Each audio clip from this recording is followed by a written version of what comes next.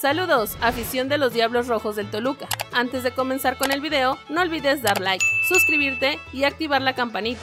Sin más por el momento, iniciamos. León contra Toluca, horario, alineaciones probables y dónde ver el partido de la jornada 13. Los Diablos Rojos del Toluca visitan a los Esmeraldas del Club León este sábado 21 de octubre para disputar el partido correspondiente a la jornada 13 de la apertura 2023 de la Liga MX. El juego arrancará a las 17 horas y será televisado por Fox Sports. Los Esmeraldas llegan a este cotejo luego de hilvanar tres partidos sin derrota, escalando al puesto 9 de la clasificación con 15 puntos y un juego pendiente, por lo que sumar una victoria ante los escarlatas los estaría colocando en puestos directos de liguilla, esperando que se combinen otros resultados en esta misma jornada. Por su parte, los choriceros también ligan cuatro partidos sin derrota, aunque solo cosecharon una victoria en este lapso, instalándose en el quinto puesto con 18 puntos y 12 partidos disputados. Ahora bien, alineaciones probables de León contra Toluca. León, Rodolfo Cota, Rodríguez, Bellón, Frías, Moreno, Romero, Alvarado, Iván Rodríguez, Mena, López y Alvarado. Toluca, Volpi, Araujo, Huerta, Mosquera, García, Baeza, Ruiz, Angulo, López, Domínguez y Morales. Historial del Club León contra Toluca FC. En total se han enfrentado en 37 ocasiones, con saldo parejo de 14 triunfos por bando y 9 empates. Jugando en León, la Fiera tiene dominio con 8 victorias, 5 empates y 6 derrotas ante los Diablos. Este jueves a partir de las 10 horas en las instalaciones de Metepec, los Diablos de Toluca sostuvieron una sesión de entrenamiento que incluyó fútbol en la intención de competir apuntando al encuentro contra León, que tendrá alto grado de dificultad, pero que en el objetivo, claro, que es obtener la victoria,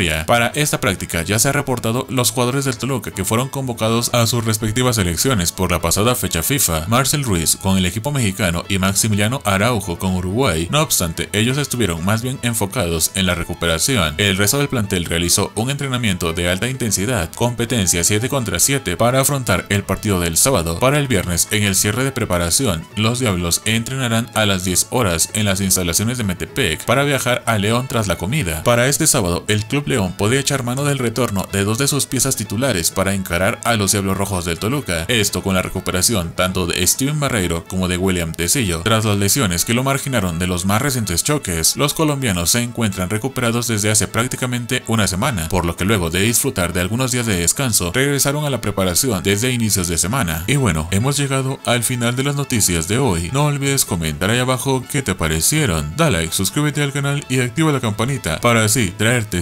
más y mejor información. Hasta la próxima.